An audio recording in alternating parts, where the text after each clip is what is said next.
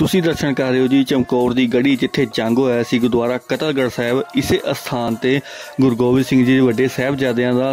ਸੰਸਕਾਰ ਹੋਇਆ ਸੀਗਾ ਤੇ ਵੀਡੀਓ ਨੂੰ ਸ਼ੇਅਰ ਕਰਕੇ ਹੋਰਾਂ ਸੰਗਤਾਂ ਨੂੰ ਵੀ ਦਰਸ਼ਨ ਜ਼ਰੂਰ ਕਰਵਾਉਣਾ ਵਾਹਿਗੁਰੂ ਜੀ